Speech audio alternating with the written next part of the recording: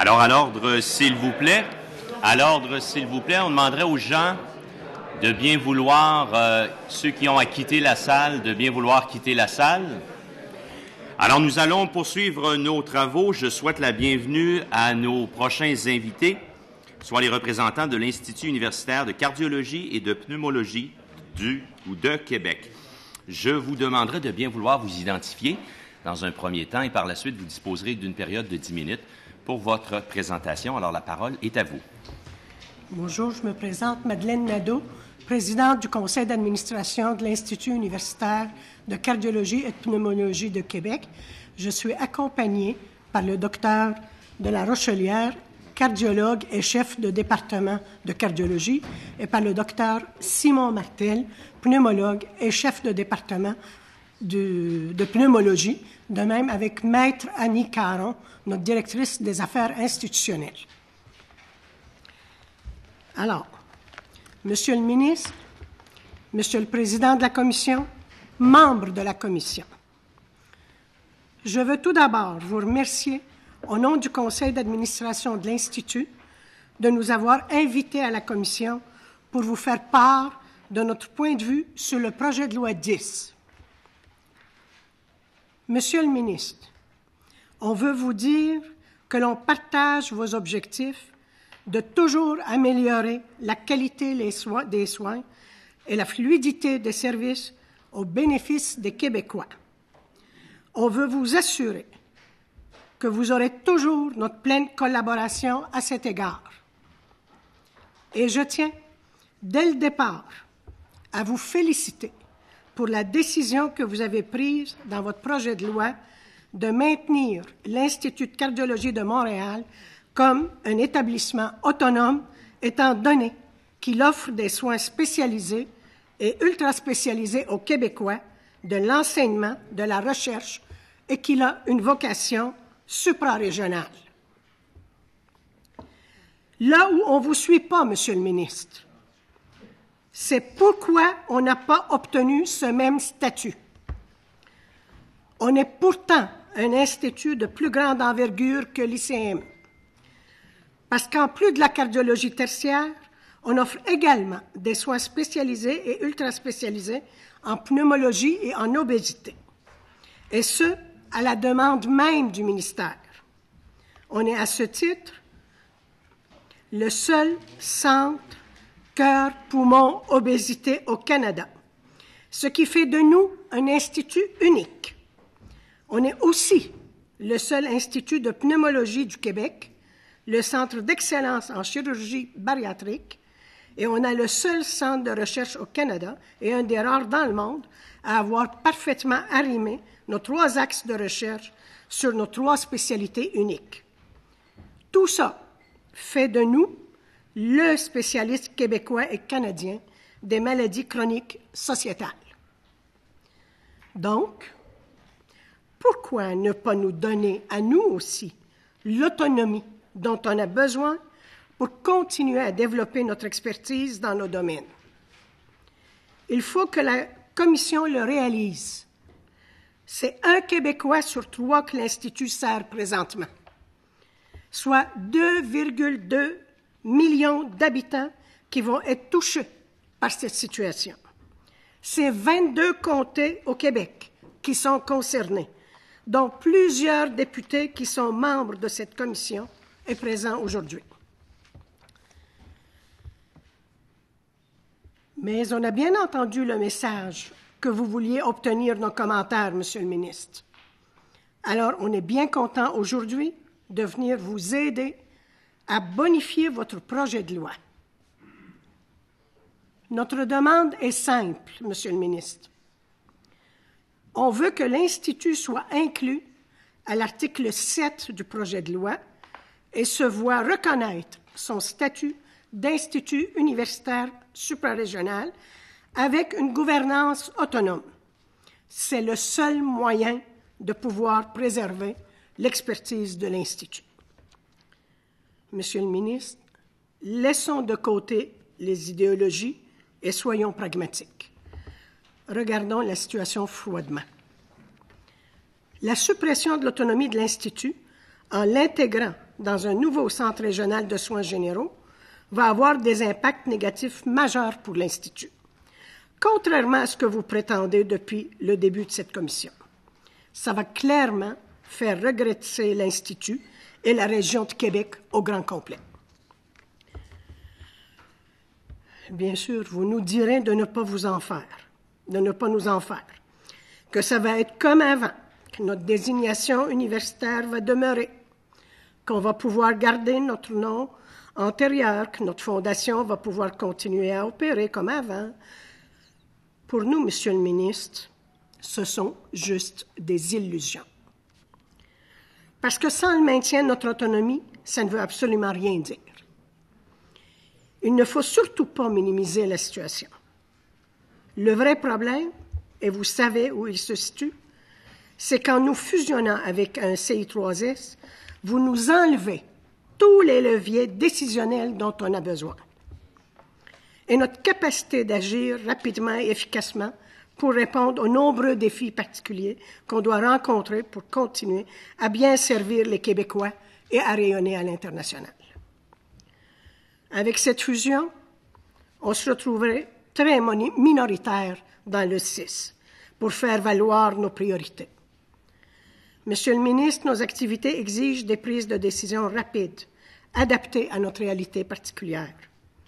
Mais si on devient une coquille vide, sans une gouverne autonome, on ne pourra plus répondre aux missions particulières que vous nous avez pourtant confiées. Pourtant, c'est ce que l'on souhaite le plus au monde en ce moment. Tout le monde est mobilisé à l'interne en ce moment, tant les médecins que l'ensemble du personnel, on veut pouvoir continuer à faire profiter à la population de notre expertise unique. Il ne faut pas se le cacher, Monsieur le ministre. Les nouveaux CIS vont avoir des gros défis et on peut présumer que les services de première et deuxième ligne vont prendre beaucoup de place. Nous, pendant ce temps, si on est fusionné, qu'est-ce qu'on va faire? On va mettre beaucoup d'énergie pour tenter de maintenir le cap mais on n'y arrivera pas. On n'y arrivera simplement pas. Le développement des activités universitaires de la région de Québec va donc être durement affecté. On risque de perdre également des chercheurs et cliniciens de renommée internationale qui vont peut-être nous préférer des instituts autonomes. Le centre de recherche va devenir beaucoup moins compétitif au niveau international par rapport notamment à l'Institut de cardiologie de Montréal et la part économique attendue au niveau des activités du centre de recherche de l'Institut ne seront pas au rendez-vous. Il faut rappeler à la Commission que juste en 2013-2014, ce sont des investissements de l'ordre de 33 millions de dollars qui ont bénéficié à la région. Pour nous, Monsieur le ministre, le problème avec ce projet de loi, c'est qu'il offre une solution unique sans tenir compte de la réalité terrain. Permettez-moi cette analogie. Vous avez pensé et élaboré un nouveau design. Vous avez choisi un modèle uniforme pour l'ensemble des établissements du Québec et pour l'ensemble des régions, sans distinction, sauf pour Montréal. Vous avez créé dans toutes les régions un magasin général de soins de santé et de services identiques vous démolissez les établissements spécialisés et ultra spécialisés, mais vous leur trouvez un rayon dans le nouveau grand magasin général où ils vont devoir faire entrer toute leur expertise. Vous ne vous trompez pas sur nos prétentions, Monsieur le ministre. Nous pensons que le modèle de magasin général peut très bien convenir à un certain nombre de régions et nous ne sommes pas en train de dire que c'est un mauvais magasin. Loin de là. Mais ne tombez pas dans le piège de croire que le modèle du magasin général va convenir aux besoins de toutes les régions et surtout pas de tous les services qui étaient offerts auparavant dans des établissements spécialisés et ultra spécialisés. Cette décision, Monsieur le ministre, on se l'explique d'autant plus mal qu'il n'existe aucun problème à Québec. Vous l'avez d'ailleurs vous-même souligné à plusieurs reprises. La région de Québec n'a pas eu à attendre un projet de loi pour arrimer et mettre en place des ententes pour créer des corridors de services efficaces. Dans ces circonstances, pourquoi on a besoin d'une loi pour continuer à faire ce qu'on fait déjà bien? Pourquoi appliquer un puissant remède à la région de Québec, Monsieur le ministre, alors que le patient n'est pas malade? En plus, vous possédez déjà les leviers nécessaires dans votre projet de loi au chapitre 3 si vous voulez déterminer des nouveaux corridors de service. Cette solution, vous en conviendrez, serait beaucoup moins drastique que celle que vous avez privilégiée pour l'instant, et ça aurait aussi pour net avantage de rétablir l'équilibre qui a été brisé par le projet de loi et les rapports de force entre les activités universitaires de la région de la capitale nationale par rapport à la région montréalaise. Je vous rappelle à cet effet que dans la nouvelle organisation du réseau, il y aura au total 28 établissements de santé au Québec, donc 28 PDG. De ce nombre, 9 seront de la région de Montréal. Combien pour la région, pour la grande région université du Québec, de Québec? Un seul PDG, puisqu'il n'y aura qu'un seul établissement, et zéro établissement universitaire. Je pense que là-dessus, les chiffres parlent d'eux-mêmes. En conclusion, Monsieur le ministre, nous vous posons cette question qui est cruciale pour nous et pour l'ensemble du réseau de la santé du Québec. Pourquoi vouloir faire disparaître le plus important centre de cardiologie tertiaire du Québec, le seul institut universitaire en pneumologie du Québec, le centre d'excellence en chirurgie bariatrique du Québec, le seul centre cœur, poumon, obésité, métabolisme du Canada, le seul centre de recherche canadien et un des rares au monde à effectuer des recherches qui permet des avancées technologiques et scientifiques directement applicables aux soins et qui en améliorent sans cesse la qualité. Avons-nous les moyens de nous priver de cette expertise unique qui a été développée depuis 100 ans au bénéfice de l'ensemble des Québécois? Avons-nous les moyens de nous priver des meilleurs professionnels et des meilleurs chercheurs dans ces domaines? Avons-nous les moyens de nous priver des retombées économiques et scientifiques majeures que créent les activités effectuées au centre de recherche de l'Institut pour la région de la capitale nationale et pour le Québec en entier?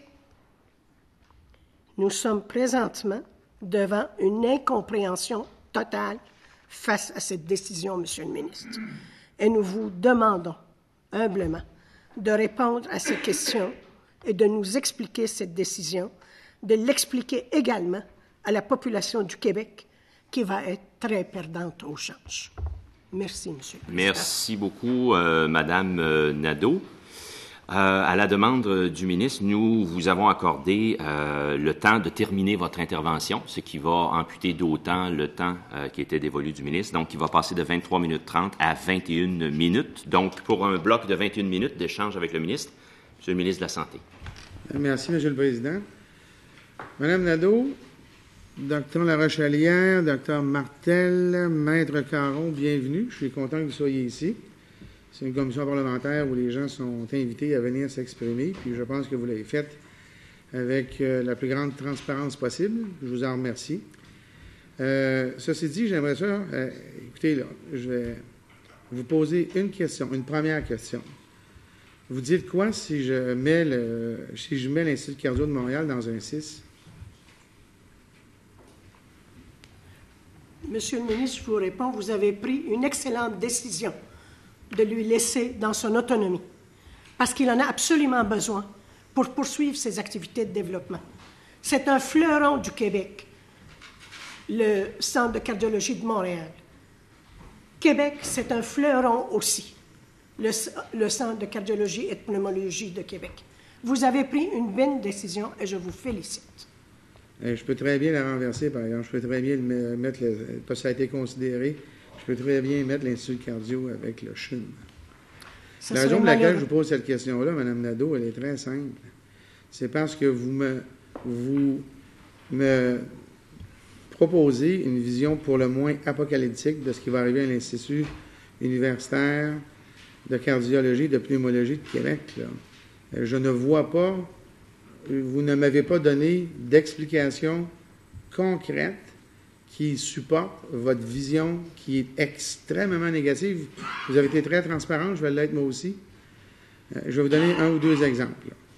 Le premier exemple, Mme euh, Nadeau, c'est que, et ça a été dit clairement, puis je ne vous dis pas que vos arguments ne sont pas valables, juste qu'on se comprenne, là. Vous m'avez dit clairement que selon vous, là, c'est pas compliqué, on va détruire la carrière de tout le monde à l'Institut de- à l'Institut universitaire de cardio de, Québec. Vous allez perdre vos chercheurs. Vous allez perdre votre mission. Vous allez perdre votre développement. Vous allez essentiellement tout perdre. Vous allez devenir quasiment un CLSC. Je ne vois pas là comment ça, ça peut arriver. J'aimerais ça que vous m'expliquiez pourquoi. Je vais donner un exemple. Le premier groupe qui est venu ici, c'est la Fédération des fondations hospitalières du Québec. Et sachant que probablement que vous alliez venir à un moment donné et d'autres euh, hôpitaux universitaires, je leur ai posé une question très simple. Est-ce que, dans votre opinion, le fait d'intégrer un hôpital universitaire, ça va nuire à sa fondation? Et la réponse a été catégorique. En fait, le président de la, de la Fédération des fondations a été surpris de la question. Et il a répondu d'une façon assez surprenante, de- surprenante dans le sens où il était pas mal surpris, euh, que non, il voyait pas, il, voyait, il voyait- il était surpris de la question parce que pour lui, il ne voyait pas de lien entre les deux. Alors, voilà pour la question de la fondation.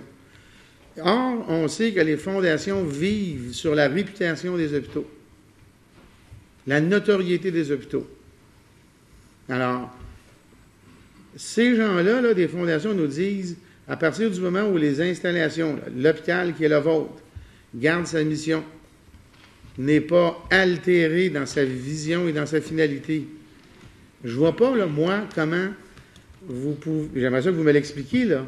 Elle est où la cascade qui part de maintenant, là, 6, et puis, oups, c'est fini, vous devenez un fin utile un CLSC.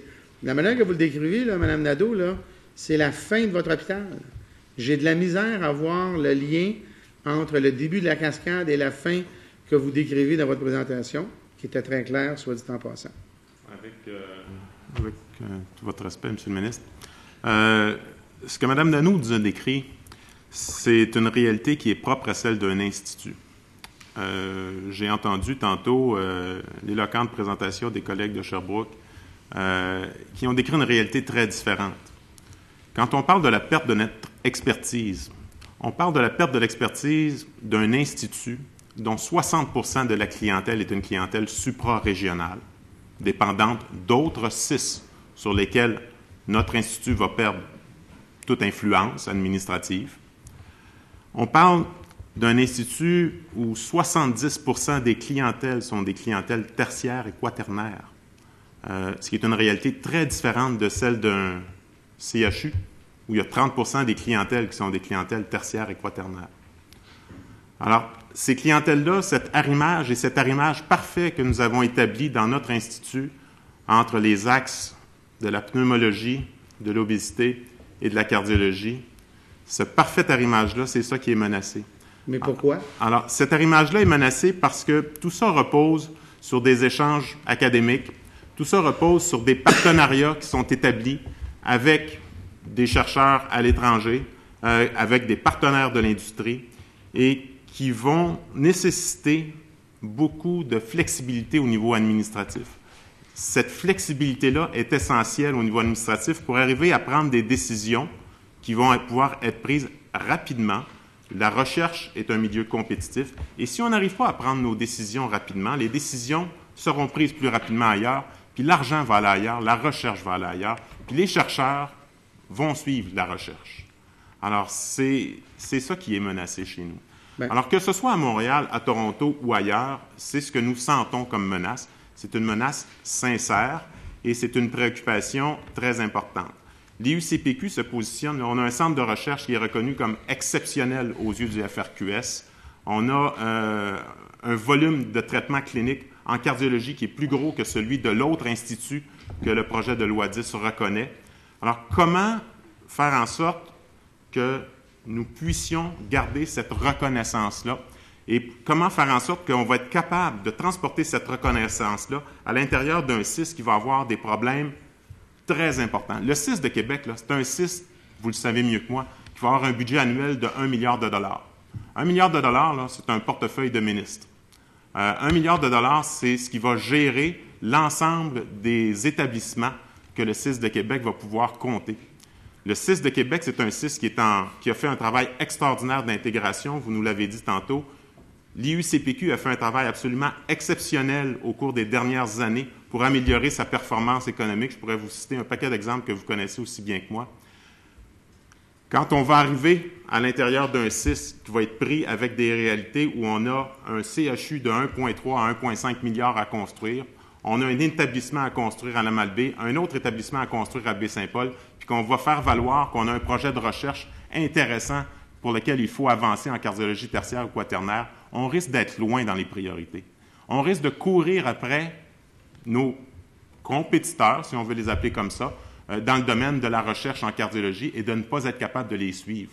Vous nous imposez de courir le 110 mètres haie avec une jambe coupée aussi vite que les autres vont courir le 100 mètres. Ça devient impossible, Monsieur le ministre. Quand on va s'asseoir à table pour vous parler, on va avoir un PDG de, de 6, il va avoir neuf PDG des 6 de la région de Montréal, il va avoir quatre PDG d'institutions universitaires de la région de Montréal, zéro de Québec. Au hockey, on appelle ça manger une volée. Alors, c'est ça qui nous attend, Monsieur le ministre.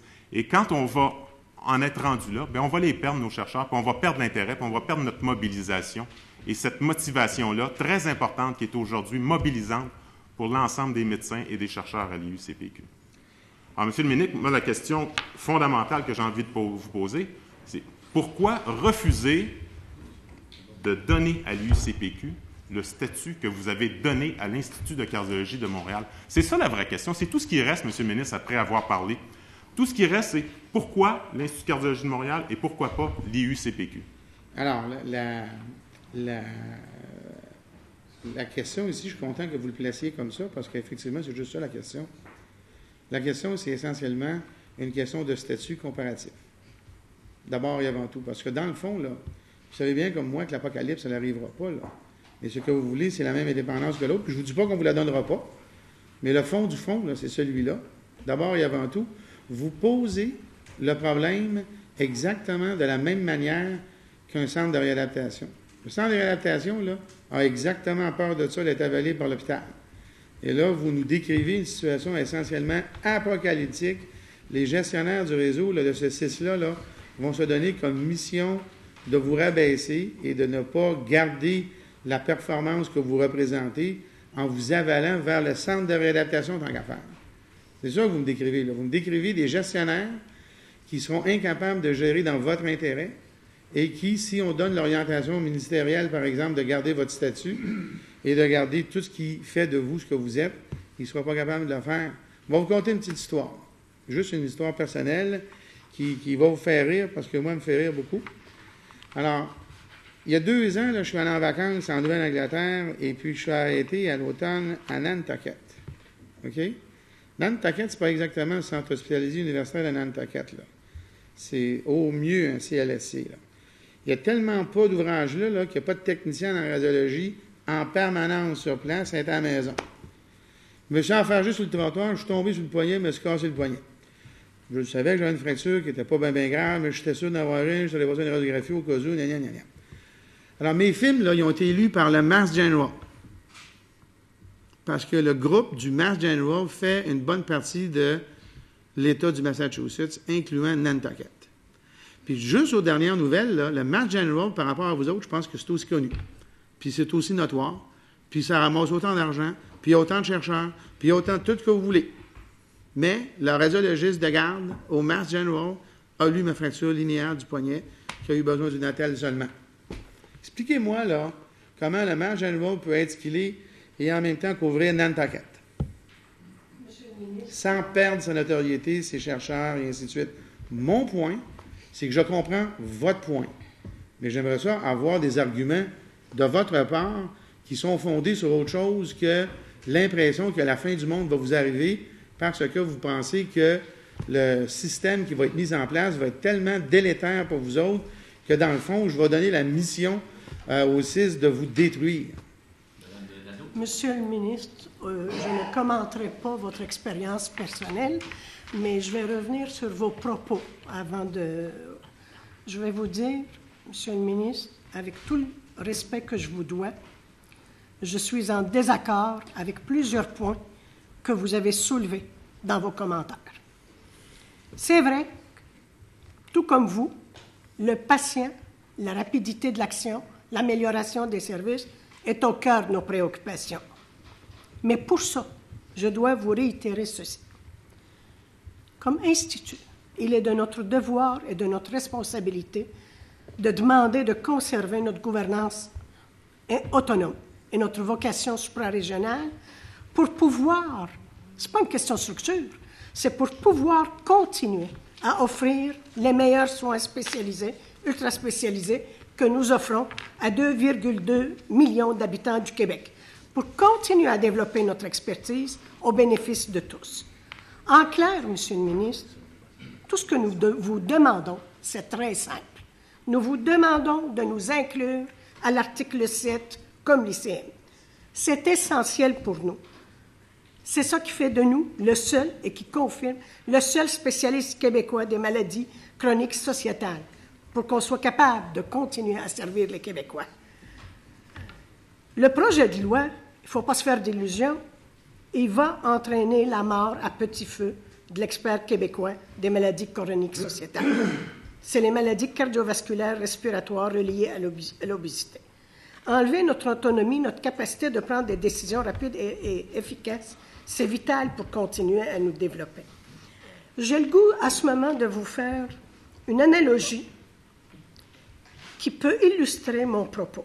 Si vous me permettez cette analogie, si demain matin, le ministère fédéral de la Santé indiquait, pour des raisons économiques ou autres, il rapatriait unilatéralement tous les pouvoirs du ministère de la Santé du Québec au fédéral, mais qu'il vous disait de ne pas vous inquiéter, qu'il va vous préserver votre titre de ministre, il va vous laisser vos bureaux, euh, il va vous laisser vos employés, qui va continuer à payer votre loyer, votre dépense, mais à chaque fois que vous voudrez donner une orientation à vos activités, à chaque fois que vous voudrez investir dans des activités propres à votre ministère et utiles aux Québécois, vous devrez lui en faire la demande et attendre le traitement de votre dossier avant de pouvoir agir. Monsieur le ministre, c'est exactement ce qui va se produire pour nous si on est fusionné avec le 6 de Québec et qu'on perd notre gouvernance autonome, l'enjeu pour nous est très important. Ce n'est pas juste une question de titre, c'est une question d'être capable et d'avoir le pouvoir et les leviers pour répondre aux besoins de la population dans nos domaines d'expertise. L'enjeu, il est là. Il n'est pas ailleurs. Je vais vous dire pour nous, si rien n'est changé au projet de loi, j'espère que ça n'arrivera pas, il est raisonnable de penser qu'en moins de dix ans, les habitants du nord, de l'est et du nord-est du Québec, peut-être qu'ils vont être obligés de se rendre à Montréal pour obtenir des soins spécialisés. L'enjeu est crucial, Monsieur le ministre, et je suis persuadé qu'on partage cette préoccupation de bien desservir les Québécois dans des domaines de pointe. Je suis sûr que c'est votre préoccupation également.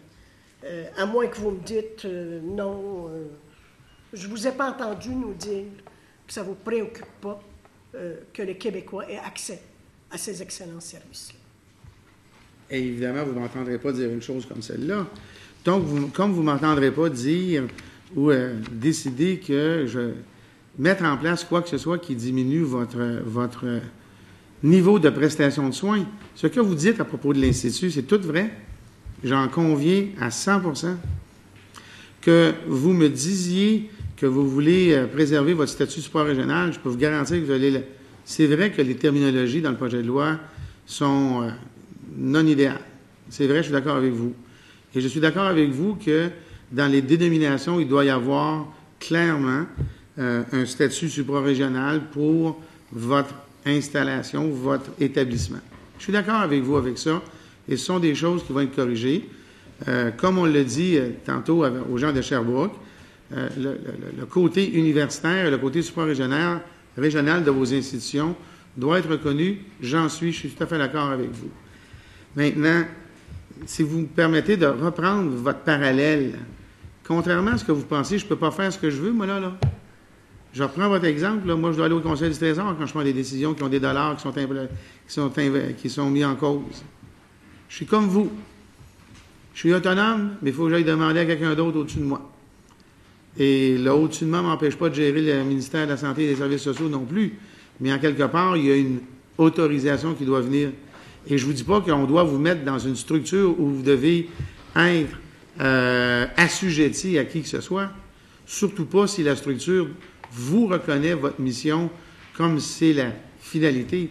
Je suis d'accord avec vous, Mme Nadeau. Pour ce qui est de la dénomination, de la notoriété, il y a des choses à corriger. Je suis d'accord 100% avec vous.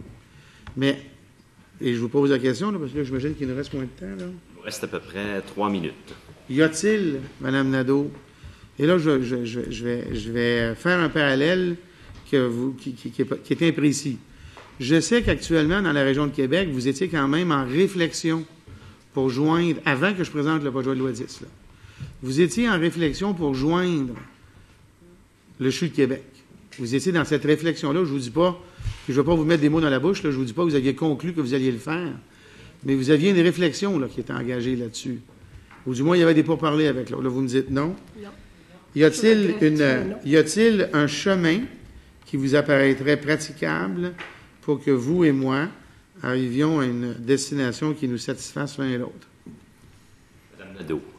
Monsieur le ministre, nous sommes vos partenaires, nous ne sommes pas vos adversaires. Je vous ai dit d'entrée de jeu, nous souhaitons collaborer avec vous, nous souhaitons collaborer de tout cœur avec vous. Ce que je vous dis, vous avez fait un design pour le système de santé au Québec. Ce que je vous dis tout simplement, dans ce design-là, il s'est glissé quelque part une erreur. Cette erreur-là, c'est ne pas mettre l'IUCPQ dans votre article 7 et lui conserver son autonomie. Je ne vous demande pas de défaire quoi que ce soit. Je m'approche de vous. Ce que je vous dis, prenez l'IUCPQ et mettez-les sous l'article 7 en lui conservant sa pleine autonomie. Si on obtient cet élément-là, ça nous met, ça enlève ce déséquilibre Québec-Montréal et ça nous met sur la même longueur d'onde et vous allez pouvoir continuer pour longtemps à être responsable et avoir la fierté d'avoir deux instituts de cardiologie, un de cardiologie, un cardiologie et pneumologie de Québec, très performant, dont vous allez être fiers, dont les Québécois vont être fiers. Et pour y arriver, dans l'ensemble de, votre projet, avec cet élément de modification-là, nous serons au rendez-vous pour collaborer avec vous. Nous serons au rendez-vous pour, pour que vous puissiez atteindre vos objectifs à 100% Nous sommes d'accord que le Québec est dans une situation financière difficile. C'est un défi majeur qui vous attend. Nous voulons relever ce défi-là avec vous. Nous le souhaitons de tout cœur. Donnez-nous l'oxygène, donnez-nous l'opportunité, en nous inscrivant à l'article 7 de cette loi-là, de nous joindre à vous et de faire le reste du chemin ensemble. Bien, Madame Nadeau, je vous remercie de vos commentaires. Je vais les prendre en considération euh, de façon euh, sérieuse.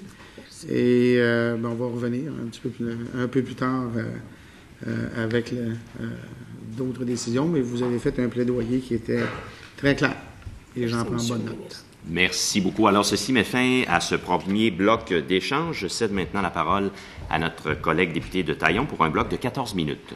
Merci beaucoup, Monsieur le Président.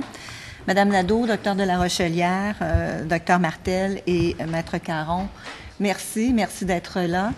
Euh, je dois vous dire d'entrée de jeu que, à ma première lecture du projet de loi 10, j'ai eu la même réaction que vous, c'est-à-dire euh, comment se fait-il qu'on n'ait pas un, centre supra-régional euh, à Québec et, euh, et, à Sherbrooke? Et, à, Québec. Il est, il est clair que l'Institut universitaire de cardiologie et de pneumologie de Québec euh, doit avoir ce statut et, doit être reconnu euh, par euh, non pas le titre ou une pseudo-compétition avec Montréal, mais par la nature même des, des, actes que vous posez, de la recherche que vous faites et du caractère très de pointe que vous, que vous, de la mission de pointe que vous, que vous avez. Je, je, en tout cas, je suis très consciente euh, de, de, la distinction. Et autant je suis pour une intégration verticale de notre système de santé qui, qui passe à travers toutes les, les, démarches, incluant les gens qui ont des besoins au niveau des services sociaux, des gens qui ont des problèmes en santé mentale, qui ont des besoins particuliers là, avant même la première ligne ou parallèlement à la première ligne, deuxième ligne, troisième ligne, mais il faut quand même reconnaître que au Québec, on a quelques secteurs d'excellence, d'expertise et de recherche et ce sont des créneaux dont on doit être fier et qu'on doit protéger. Et vous appartenez certainement à ça. Et euh, tantôt, vous avez fait une, analogie. Euh, je, je, vous, je la, peut-être je la bonifierais, ou en tout cas, je la, je la nuancerais. Euh, je pense qu'elle traduirait peut-être mieux ce que vous essayez d'illustrer. Par exemple, le sport, qui est quelque chose de bénéfique et auquel on veut que tout le monde ait accès, ben, il se fait de différentes façons et à différents niveaux. Il faut une intégration. Il faut un sport au niveau des scolaires. Il faut un sport sport d'élite même, il y a du sport études, euh, il y a du sport dans la rue, mais à un moment donné, on décide qu'on a quelques individus qui sont des compétiteurs olympiques qui rayonnent à travers la planète et qui font avancer de façon particulière la, la, connaissance, la recherche, le rayonnement, et qui ont même, je dirais, un impact économique. Euh, donc, il y a des retombées économiques certainement à, certaines recherches que vous faites, euh, ne serait-ce que dans l'accueil des étudiants du Québec, mais aussi des étudiants étrangers, la collaboration avec des experts étrangers. Alors, tout ça, je pense que le Québec en a bien besoin et je pense qu'il faut, il faut vraiment soutenir et à travers ça, la reconnaissance d'un statut suprarégional devrait vous être reconnu sans que vous ayez à livrer un, combat euh, exceptionnel. Je trouve que vous avez dans votre présentation un élément où j'aimerais peut-être vous entendre et qui va peut-être nous aider tous ensemble à convaincre le ministre. Euh, vous avez euh, dans l'enjeu 3 euh, vous avez dit, euh, et, tout ceci, euh, en tout cas pour moi, m'apparaît clair que et l'Institut de cardiologie de Montréal, comme vous l'avez dit, et l'Institut universitaire de cardiologie et de pneumologie de Québec sont des pôles de grande expertise. Mais vous dites, donc, dans l'enjeu 3, il montre des forces distinctes reconnues au niveau international. Pourriez-vous me parler de quelques forces distinctes qui sont reconnues au niveau international? Si on parle de, l'Institut de cardiologie de Montréal, on parle d'un centre absolument exceptionnel. Si on parle de l'IUCPQ, on parle d'un centre absolument exceptionnel. Euh, alors, en ce, en ce sens-là, on se ressemble. La différence réside surtout dans nos missions. Alors, on a des missions fortes en cardiologie, euh, une mission également en pneumologie qui n'existe pas à Montréal, puis une mission avec une surspécialisation en chirurgie bariatrique dans le traitement de l'obésité. Alors, ça fait de nous euh, un institut, un institut unique et c'est pas seulement le fait d'avoir ces trois missions-là qui fait de nous une force unique, c'est le fait d'avoir réussi à intégrer parfaitement ces trois missions-là de façon horizontale entre eux autres quand c'est le temps de donner des soins euh, aux patients, euh, mais aussi euh, au niveau de la recherche. Alors, au niveau de la recherche, ces trois missions-là sont parfaitement alignées sur les trois réalités cliniques, dispensation des soins, et ces, ces recherches-là qui sont conduites dans les trois axes, cardiologie, pneumologie et obésité, améliorent la prestation des soins aux patients dans les trois axes. Alors, c'est ce qui fait de nous un institut unique. Euh, c'est une caractéristique qui est très importante. Notre centre de recherche est extrêmement productif. Quand les gens parlent de l'Institut de cardiologie de Montréal, on parle d'un joyau. Quand on parle de l'IUCPQ, on parle aussi d'un joyau. Alors, notre centre de recherche a une prestation en volume qui est égal, voire supérieur, à cause du nombre de, à cause du, euh, quand on regarde le nombre de publications par chercheur euh, qui émanent de chez nous. Euh, alors, on a, on a un institut unique qui est le seul institut, et là, je, vais sortir des, frontières québécoises pour aller au Canada, le seul institut canadien des maladies sociétales. Affaiblir l'institut, c'est affaiblir le seul institut de soins et de recherche des grandes maladies sociétales. Il ne se passe pas une semaine sans qu'on parle des problèmes épidémiologiques de cardiologie, pneumologie et d'obésité. C'est pas pour rien. Alors, ça prend un institut qui conduit les recherches, et c'est ça que nous faisons. À l'IUCPQ, on conduit les recherches sur les grandes maladies sociétales, et comme on est présent dans les trois axes, que les trois axes sont parfaitement alignés au niveau vertical, horizontal, dans le sens que vous voulez, c'est ça qui fait de nous un institut unique. Alors, perdre l'institut, c'est perdre quelque chose qui s'en ira pas nécessairement à Montréal. Perdre l'institut, c'est perdre quelque chose qui va peut-être s'en aller à Toronto, à Cleveland, au Mass. Alors, euh, c'est ça. Alors, euh, c'est ça, perdre l'institut c'est sortir des investissements. 33 millions dans la dernière année. On a un chercheur, on a parlé d'une première la semaine dernière, on a implanté une valve mitrale de façon absolument extraordinaire. Alors, on en a parlé la semaine dernière. Bon, on a un chercheur qui vient, qui est en finalisation d'une entente avec le NIH pour amener un contrat de 9 millions de dollars de recherche à l'Institut. Bien, tout ça vient du fait qu'on a eu une gouvernance qui nous a permis d'avancer dans ces soins ultra spécialisés-là et perdre l'autonomie de cette gouvernance-là, c'est possiblement renoncer à ça et possiblement renoncer aux chercheurs qui conduisent ces travaux-là. Je m'excuse, Monsieur le ministre, mais, c'est une grande inquiétude et c'est une inquiétude sincère euh, de tous les chercheurs et de tous les cliniciens de notre centre. Est-ce que je peux me permettre de vous ajouter juste un élément? On a des économies à faire au Québec, on est conscient et tout le monde veut y participer. Mais à la lecture de notre document, de notre mémoire, je vais vous ajouter ceci c'est qu'à l'Institut, actuellement, en termes de performance de gestion, selon le palmarès, les données du ministère de l'Enseignement, du ministère de la Santé, sur les 126 établissements, nous sommes le septième établissement le plus performant au Québec.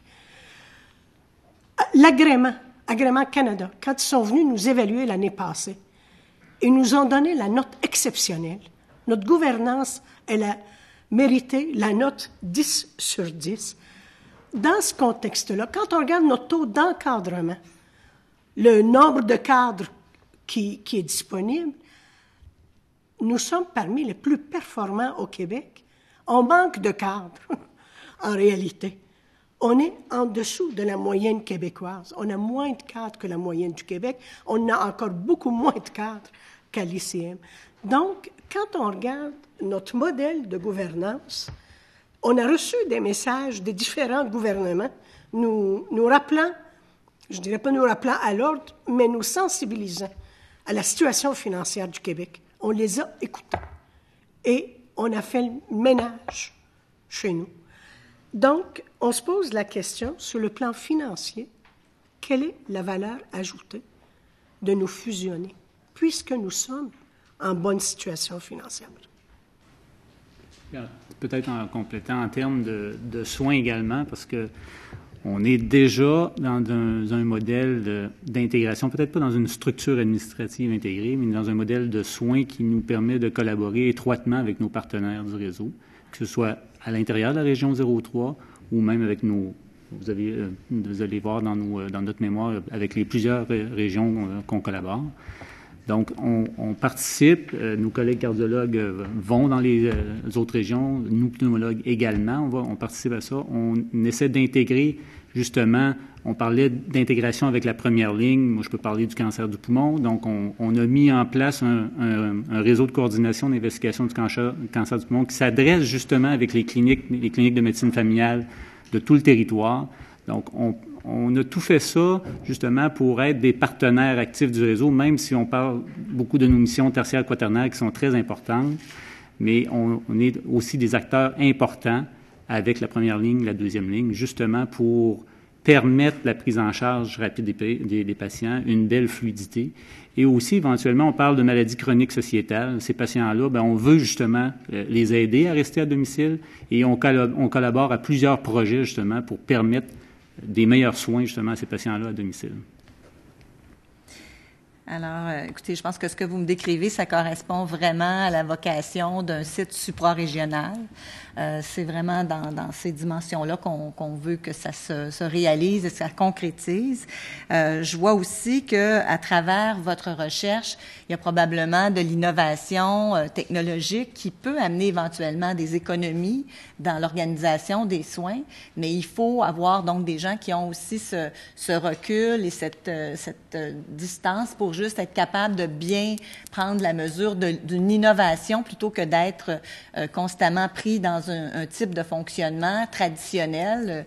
Euh, on voit toutes les nouvelles technologies au niveau du diagnostic. Ce matin, on m'a montré un appareil qui, qui, permet de détecter la fibrillation auriculaire. Euh, il y a plein de nouvelles technologies et c'est sûr que à ce moment-là, un rôle suprarégional permet même d'être, euh, de donner des, des, des, conseils aux ministres sur une nouvelle façon de réorganiser les soins en tenant compte de cette nouvelles technologies, puisqu'au Québec, je pense que une de nos euh, de nos défaillances a été peut-être de continuer à rester dans des vieilles pratiques ou dans des des vieux euh, des vieux stéréotypes euh, où on voit par exemple que certains spécialistes continuent de faire des activités qui pourraient être faites par d'autres professionnels et, et ainsi de suite pour les médecins de famille et ainsi de suite pour tous les niveaux de soins de soins infirmiers. Euh, donc je pense que ce que vous reflétez, c'est vraiment euh, une mission qui est celle d'un centre suprarégional et je vous soutiens absolument dans votre démarche. J'ai confiance que le ministre euh, nous aura entendus et euh, je pense en tout cas que vous faites un très bon, un très bon, euh, un très bon rapport. Je voudrais vous, vous parler, vous entendre parler un peu des retombées économiques. Vous avez parlé de la recherche, du retour de recherche que vous avez. Peut-être que ces éléments euh, économiques-là pourraient être. Euh, vous avez parlé de 33 millions de, de dollars? C'est le budget du centre de recherche. C'est votre les budget. les investissements mais, dans mais, le centre de recherche au cours de la dernière année. OK, Alors, mais, mais dans le centre, de recherche, de... le centre de recherche, c'est 700 employés. Euh, vous avez parlé tantôt de chercheurs étrangers qui viennent séjourner chez nous. On appelle ça communément des fellows euh, du côté des médecins. On, on, accueille 24 cette année. Le plus gros programme de fellowship euh, au Québec actuellement, c'est des médecins étrangers qui viennent travailler chez nous pour un an ou deux. Euh, avant de rapporter leur expertise euh, et la notoriété reçoit quelque de chose pour l'accueil de ces euh, fellows? L'hôpital ne reçoit pas d'argent, mais le séjour de ces médecins-là favorise la productivité, nous permet d'amener. Ils arrivent, la plupart d'entre eux, avec des bourses qui supportent leur, leur venue ici parce qu'ils ont des coûts. Alors, ils viennent vivre chez nous avec avec leur famille euh, pendant un an ou deux. Euh, ils viennent travailler en recherche principalement, euh, contribuent beaucoup à la vie ac académique. Alors, c'est ce que les programmes de fellow apportent chez nous. mais au-delà au de ça, la vie économique d'un centre de recherche, il y a les employés permanents, il y a les investissements de nos partenaires de l'industrie qui sont très importants de façon annuelle, qui amènent des argents dans la région de Québec, qui favorisent les travaux des chercheurs qui sont en place. Alors, euh, ajouter même que si on regarde depuis la création de, de l'Institut, dans le fond, on a été nommé euh, en 1996, cette, cette performance-là et a amené une belle intégration avec euh, nos axes cliniques, nos axes de recherche. On a fait une croissance extraordinaire de notre centre de recherche. On est passé d'un centre de recherche qu'on pourrait peut-être qui était beaucoup plus petit beaucoup plus modeste. Euh, et euh, maintenant, avec, on est tout près de 800 employés. On en parlait plus de 700, mais je pense que c'est 796 employés. Donc, euh, on a eu une croissance importante et ça vient avec, justement, on parle de renommée, d'attraction de, de, de, de, gens qui viennent travailler avec nous, de collaboration. Après ça, qu'on est en échange, on a des gens qui viennent chez nous, mais après ça, ça nous permet de faire des collaborations avec ces gens-là et d'amener des investissements qui sont euh, très intéressants pour la région. Merci beaucoup. Alors, ceci met fin à ce bloc d'échange. Je cède maintenant la parole à notre collègue de l'Appellerie pour un bloc de 9 minutes 30. Merci, Monsieur le Président. Bonjour à, à vous quatre. Je dois vous dire que euh, votre présentation se distingue par la clarté de vos propos et de vos, euh, de vos revendications, parce que je pense qu'on n'est plus à l'étape de recommandation, on parle vraiment de revendications. Je vais vous dire que c'est probablement la première présentation où j'ai commencé avec des questions et j'ai fini avec des réponses. Euh, parce que quand j'ai lu le projet de loi, moi aussi, je me suis étonné de voir effectivement qu'il y avait ce deux poids, deux mesures. Et je me posais la question, est-ce que l'erreur, c'est de ne pas intégrer les instituts au 6 ou l'erreur, c'est de les intégrer? Et visiblement, vous répondez à cette question-là. D'ailleurs, le ministre vous l'a dit, voudriez-vous que j'intègre l'Institut de cardiologie de Montréal au CIS? Et vous avez dit non, ce serait une erreur. Ce serait une erreur. C'est vraiment fondamental pour vous de garder cette autonomie-là. Puis j'aimerais qu'on s'entretienne, peut-être qu'on aille un petit peu plus loin dans cette, euh, dans cette réflexion-là, parce que vous semblez dire qu'un conseil d'administration d'un CIS ne serait pas en mesure de vous donner la flexibilité nécessaire donc, au quotidien, qu'est-ce qui est votre réalité? Qu'est-ce qui fait en sorte que euh, vous ayez besoin de réunir le conseil d'administration rapidement, prendre des décisions? Quel type de décision nécessite cette flexibilité-là? Quelle situation vous met dans une position ou je dirais d'urgence, ou, c'est euh, d'avoir un investissement ou ne pas l'avoir, d'obtenir la venue d'un chercheur ou de ne pas l'obtenir, de voir même peut-être des chercheurs quitter parce que vous avez dit, docteur de la Rochelière, que les chercheurs vont suivre les fonds de recherche, ce qui est tout à fait normal. Donc, pouvez-vous nous en dire un peu plus sur cette réalité-là au quotidien pour bien faire comprendre au ministre que l'Institut de cardiologie de Québec a besoin du même statut que celui de Montréal? L'autonomie euh, de gouvernance d'une institution, euh, c'est une autonomie qui lui permet de gérer son budget, euh, si je comprends bien, et qui lui permet aussi de signer des ententes avec des fournisseurs et éventuellement des partenaires.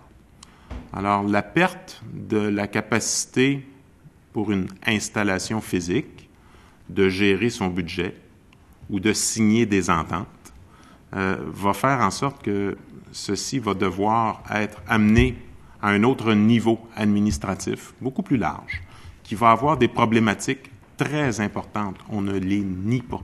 Euh, on voit l'ensemble des problématiques, mais qui vont avoir une réalité et une vision bien différente.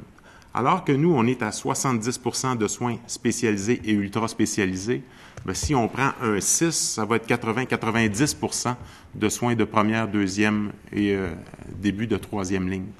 Alors, le, conseil d'administration euh, va être pris avec toutes sortes de problématiques très importantes, sociales, euh, accessibilité des médecins de famille, organisation des GMF, de grands problèmes qui vont faire en sorte que le problème qui va pouvoir être mis sur le, brûleur arrière, ben, et voilà, et voilà. Alors, c'est possiblement euh, ce qui nous permet aujourd'hui d'être compétitifs. Quand on parle de recherche, on parle d'un monde de compétition euh, qui est aussi féroce, sinon plus que le monde du sport.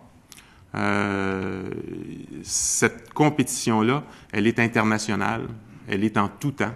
Euh, pendant que je vous parle présentement, on est au Congrès canadien, des collègues qui sont en train de défendre des projets, en train de... Alors, c'est, c'est continu, ça ne s'arrête pas. Et euh, cette perte de l'autonomie administrative, cette perte de la capacité de réaction, cette difficulté de pouvoir appeler euh, un administrateur à l'hôpital, un directeur général, une direction des finances, pour lui expliquer que oui, ça vaut la peine d'investir dans cette technologie-là. Oui, le développement, les efforts que ça prend pour développer une façon par le poignet pour aller voir les artères coronaires, à long terme, ça va mener à quelque chose. Mais aujourd'hui, ça a amené à une, façon qui a changé, qui a révolutionné les soins en cardiologie. Aujourd'hui, une coronarographie, une dilatation des artères, le patient arrive à l'hôpital, sort le même soir. Mais il y a eu des investissements. Il a fallu que notre établissement nous suive. Il a fallu qu'ils acceptent des efforts économiques quand on a développé, quand on a fait un projet de recherche euh, original, pas supporté par l'industrie, hein, puis qu'on a conduit ce projet de recherche-là, puis qui a fait en sorte qu'aujourd'hui, ça a changé la pratique de la cardiologie tertiaire, non pas seulement qu'à l'Institut, mais sur l'ensemble du territoire québécois, voire de l'Amérique du Nord. Alors, c'est ça la flexibilité puis l'autonomie dont nous avons besoin. Et c'est cette flexibilité puis cette autonomie-là qui rend la recherche plus dynamique, puis qui permet d'avancer, puis d'aller chercher, puis de retenir ces chercheurs-là. Euh, Monsieur Leclerc, je voudrais compléter ce que dit mon collègue. Elle est majeure, cette question-là, parce que, au fond, l'autonomie de gouvernance, qu'est-ce que ça veut dire? Ça veut dire l'identité. Ça veut dire l'identité juridique. C'est ça que ça veut dire. Et les organismes subventionnaires, si on devient un département du CIS, les organismes subventionnaires les sommes qu'on reçoit et qui contribuent au développement économique de la région On ne transige pas avec un département. Les organismes subventionnaires, ils ont leur identité juridique. Or, quand ils traitent, ils veulent traiter, comme toutes les entreprises, ils traitent avec le décideur. On ne traite pas avec le représentant du décideur. Quand on est prêt à mettre des millions, on veut une entité juridique distincte.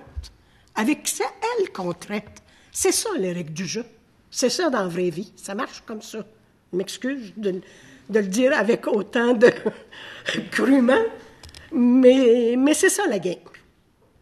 Je sais pas, sinon tu le sais plus que moi. En fait, les, opportunités, c'est souvent, ça, on a l'impression que c'est au ralenti des fois les choses, mais je pense que les opportunités sont vraiment rapides. Et euh, euh, le docteur Rochelière faisait allusion à, nos contacts qu'on peut avoir facilement avec la direction des finances, le directeur général.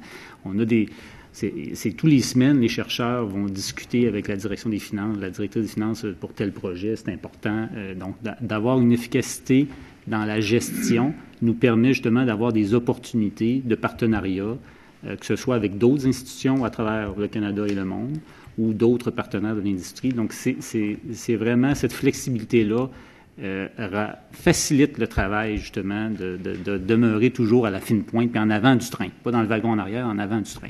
Donc, je pense que c'est ça qu'on je pense qu'on défend pour que ce soit euh, une, une, garantie pour nous autres de pouvoir toujours offrir euh, cette, euh, cette plus-value-là qu'on a euh, à l'UCPQ.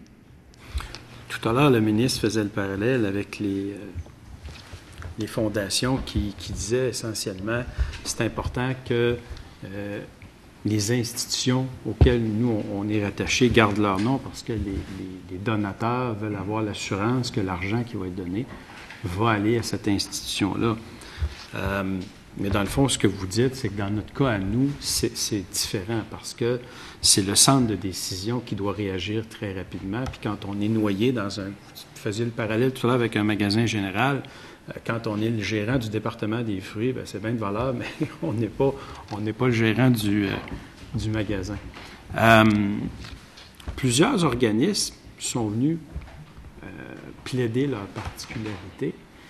Et la revendication était à l'effet d'avoir un représentant au sein du conseil d'administration. Mais vous, vous êtes formel. On n'est pas à ce niveau-là. Il faut vraiment avoir une entité juridique complètement indépendante. Monsieur Kerr, effectivement, parce que si on avait seulement une représentation au niveau d'un conseil d'administration, comme vous avez entendu l'ensemble des porte-paroles aujourd'hui, euh, ça ne nous permettrait pas d'établir et de déterminer et de faire voter euh, les priorités de la troisième et de la quatrième ligne, qui est l'Institut universitaire de cardio et pneumo de Québec, par rapport aux priorités qui vont être assez urgentes pour la première ligne et la deuxième ligne avec l'adoption éventuelle du projet de loi 10. Parce que vous le savez, l'adoption du projet de loi, 10, euh, le ministre vise essentiellement à une meilleure fluidité au niveau des premières et deuxièmes lignes. Donc, essentiellement, ça va être leur priorité. Donc, demain matin, et comme euh, docteur de la Rochelière vous l'a mentionné, docteur Martel également, nous, nos priorités se situent ailleurs. Donc, une simple, simple, une simple chaise de représentant au sein d'un conseil d'administration, ça ne serait nettement pas suffisant avec respect pour Monsieur le ministre. Donc, nous, la gouverne autonome, quand on parle de gouverne autonome, ce dont on a besoin, c'est véritablement d'avoir un conseil d'administration autonome, un établissement autonome. Donc, je vais parler, euh, je vais prêcher pour ma paroisse. Donc, au niveau d'une entité juridique distincte, pour faire en sorte véritablement de pouvoir continuer à se développer. Puis comment on va le faire? C'est d'avoir justement une gouverne proche. Donc, les décideurs doivent être proches de nos médecins, de nos surspécialistes. Merci beaucoup. Merci beaucoup. Alors, il nous reste à vous remercier, les représentants, représentantes de l'Institut universitaire de cardiologie et de pneumologie de Québec. Compte tenu de l'heure, la commission ajourne ses travaux jusqu'à demain matin, 10 heures. Merci beaucoup.